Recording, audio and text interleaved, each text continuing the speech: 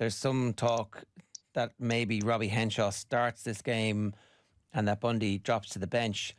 Um, uh, given the size of the prize, I'm just not sure. I'm just not sure that we're going to see any changes. Maybe Dan Sheehan starts, and that's it. Yeah, I, I think I think Dan Sheehan starts. Um, um,